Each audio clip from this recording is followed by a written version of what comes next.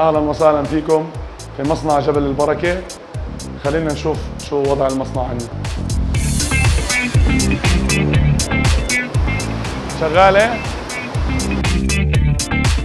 صحتين. يعطيكم العافية. أهلا وسهلا. ثانيا بمصنعنا مصنع جبل البركة.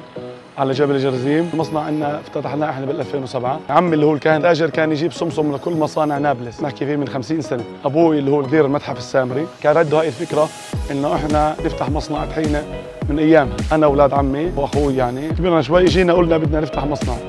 كيف بدنا يكون المصنع عندنا مميز؟ لازم نجيب السمسم أحسن سمسم الناس المختصين بشغل الطحينة عشان إنه إحنا يكون لنا سوق مميز عن سوق الطحينة الموجود بالسوق. لله رب العالمين. المصنع عندنا معيش 50 عائلة اللي هو فلسطينية وكمان سامرية. مصنع البركة من افضل المصانع تنتج طحينه في مدينة نابلس. وبتمنى من الجميع إنه يخطي الخطوة هاي إنه دائما نفكر لقدام. ربنا بقول لك اسعى يا عبدي لاسعى معك. عشان هيك أنا لكل بني آدم بشوفنا إنه يكون في عنده طموح إنه دائما يطلع لقدام يجيب شيء ويبسط الناس. إحنا كطائفة سامرية إحنا عايشين مع الفلسطينيين مع الإسرائيليين. كل طوائف اللي بتيجي على الطور عندنا جبل جرزيم إحنا بنقول لكم مدوا إيدكم للسلام.